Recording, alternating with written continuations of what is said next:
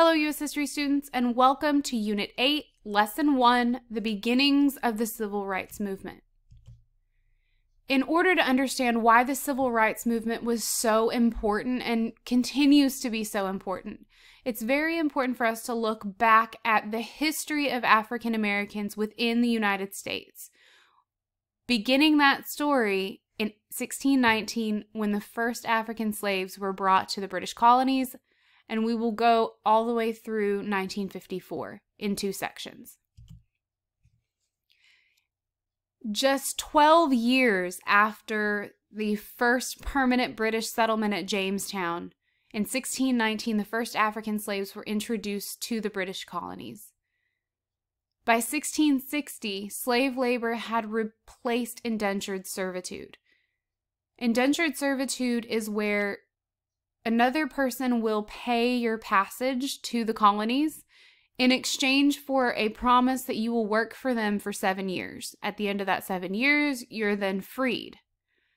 Many people started taking advantage of those indentured servants and extending their time frame to where they essentially were indentured to that person for life. And a lot of people stopped taking that option to get to the colonies. And so people had to find another way of making sure that their stuff got done. So they implemented slave labor. And by the mid 17th century, that is the main colonial labor system. And it's very important to understand that this is not only in the southern colonies, slaves were in all of the British colonies. In the South, they worked on tobacco and rice plantations, and in the North, they were domestic servants. A domestic servant is essentially a house slave, a person who works in the house. And in the North, it was seen as a status symbol. If you had one or two slaves working in your house, you were high class. You had some prominence in society. And throughout this time period, of the transatlantic slave trade, it's important to understand that not all of those Africans are coming to the British colonies. In fact, a large majority of those people are being sent to Central South America and the Caribbean. Only about 2 million African slaves are brought to what we would know as the British colonies, but that's still a substantial amount of people that were brought here against their will. Before the American Re- Revolution, slaves are present in every single one of the 13 colonies. And when the war breaks out in 1776, not a lot ends up changing right away.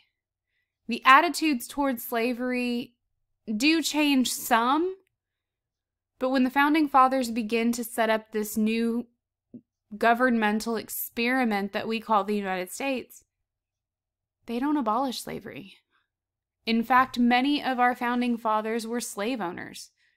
Two of the most famous and prominent ones, being George Washington and Thomas Jefferson, were also two of the largest slave owners in Virginia.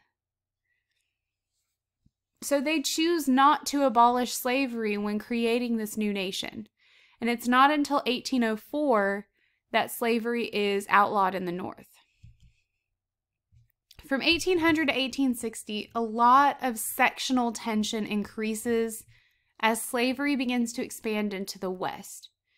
And this means that the different sections that are coming into the United States now have to determine are they going to allow slavery in their state or are they going to ban it? This also increases in the South as King Cotton becomes the biggest cash crop. When cotton becomes to be the biggest commodity that we're exporting, we need more slave labor to be able to plant all of that cotton and harvest it and sell it. And so this increases the need for slave labor throughout the South as the South expands. We also see people starting to fight to ban slavery. Abolitionists like William Lloyd Garrison, who very famously wrote an abolitionist newspaper called The Liberator to perpetrate his opinion on abolition. Frederick Douglass, who was born a slave and escaped slavery in Maryland and began giving speeches on his belief of, of abolition and really became a very famous orator or speaker and one of the forefront people in the abolition, abolition movement. And then Harriet Beecher Stowe, who very famously wrote a book called Uncle Tom's Cabin to expose the atroci- atrocities and the bad things that are happening on those plantations and in slavery to get people to start realizing that it's time to get rid of it. These people and many, many others begin to really try to get people to understand it's time to end this. It's a horrible practice.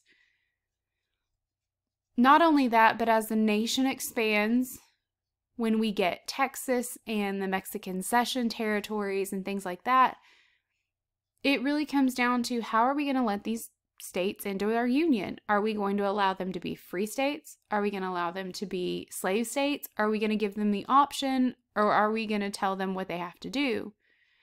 This leads to some really bad events. Uh, Bleeding Kansas is one where Kansas was voting on whether they were going to be free or slave, and people from Missouri decided to flee to Kansas and start voting to be a slave state because Missouri was a slave state.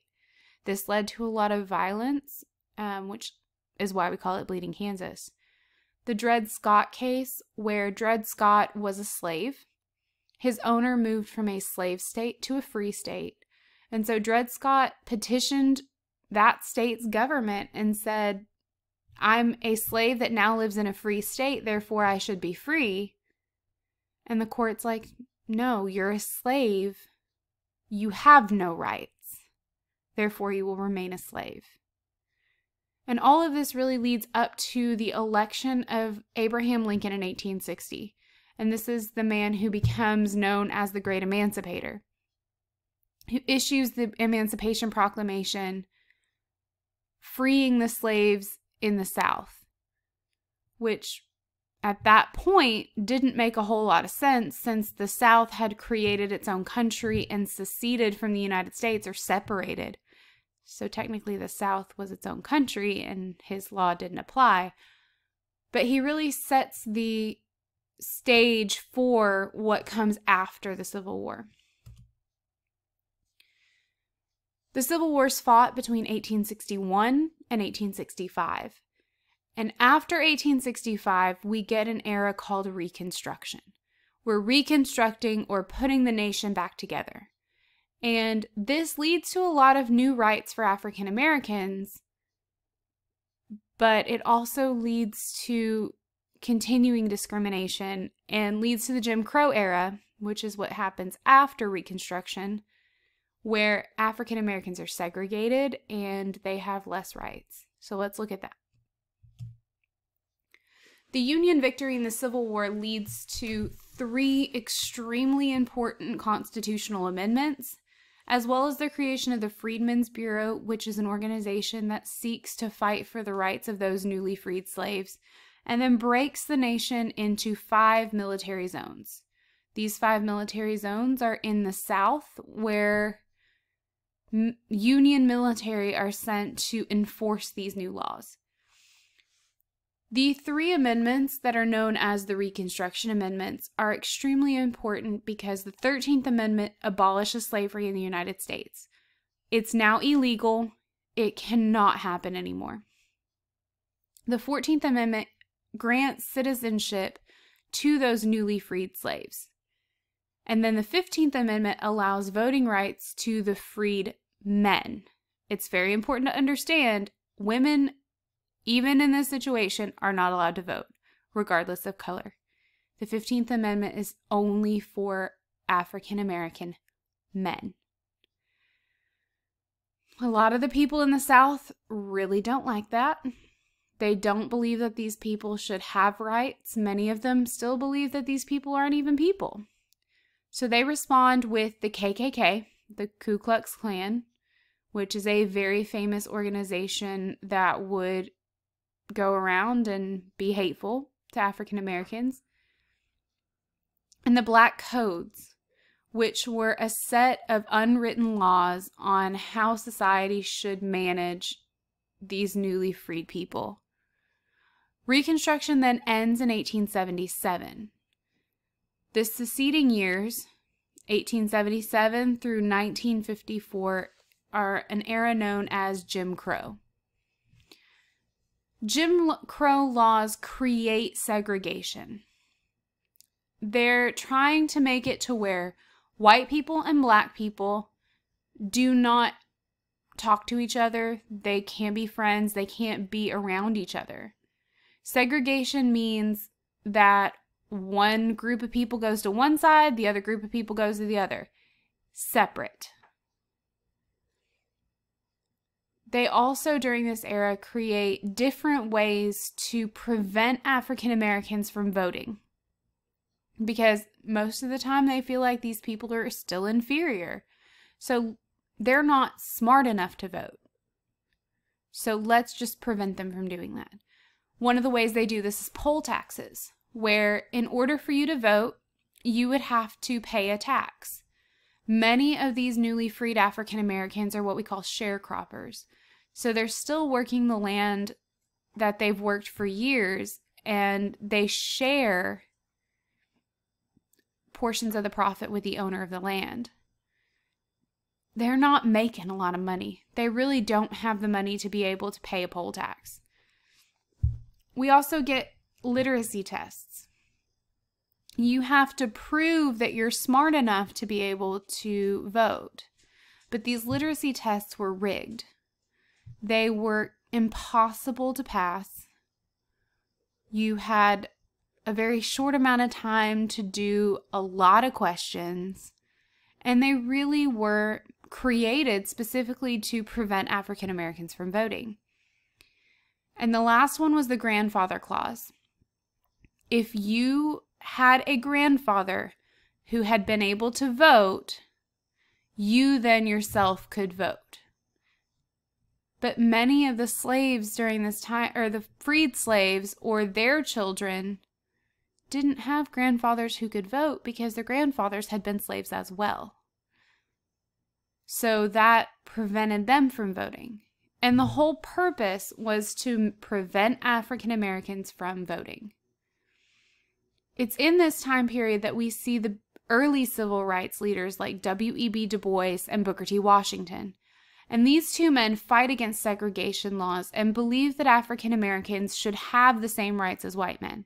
While they differ on how to reach that goal, both of them believe in the same end goal.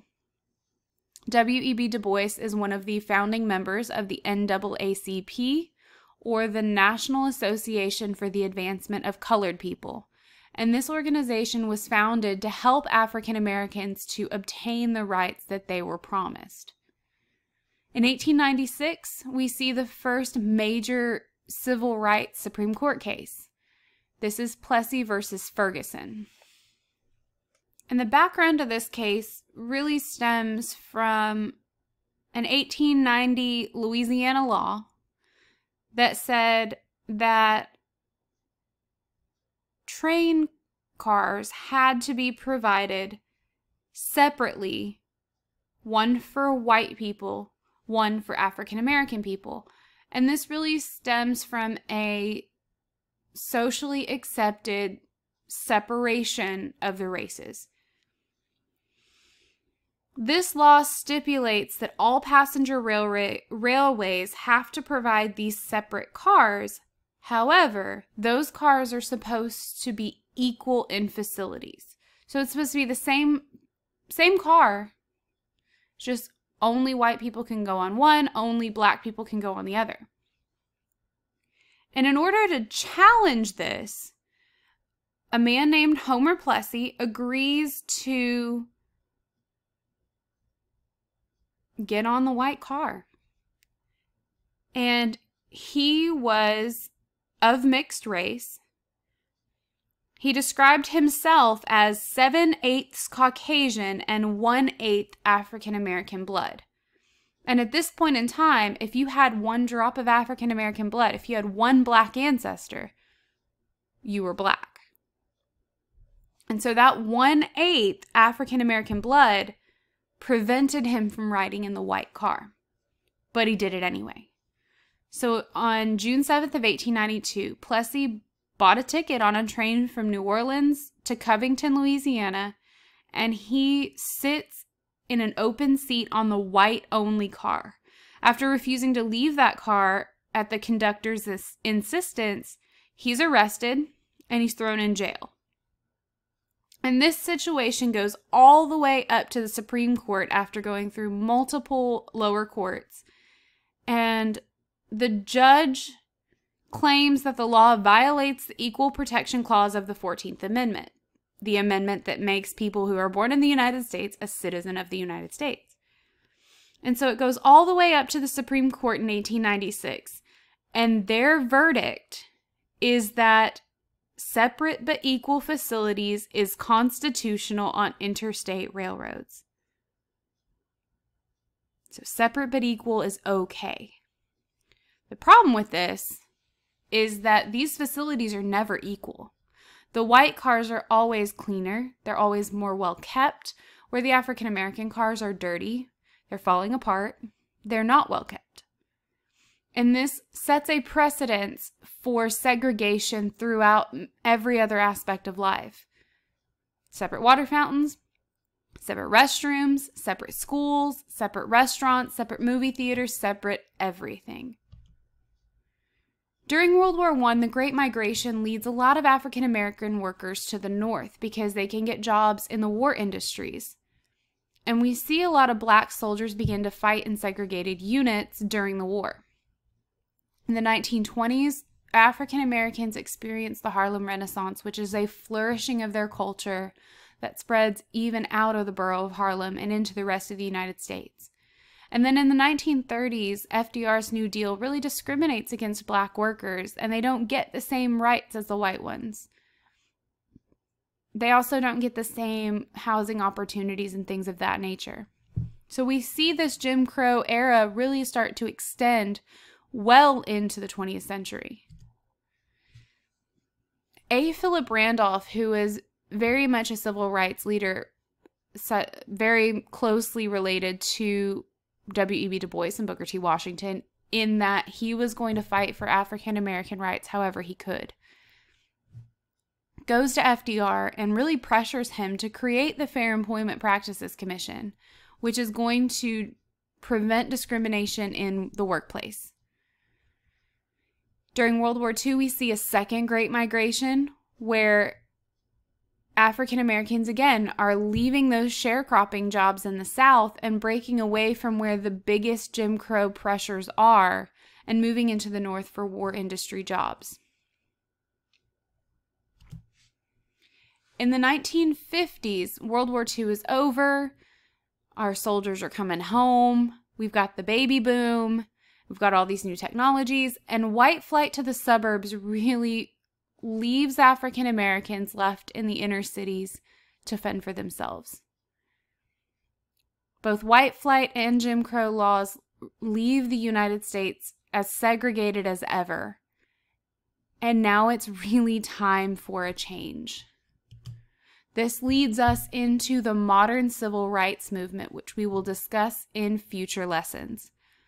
This is going to bring us to the end of Unit 8, Lesson 1 and I hope you have a great day.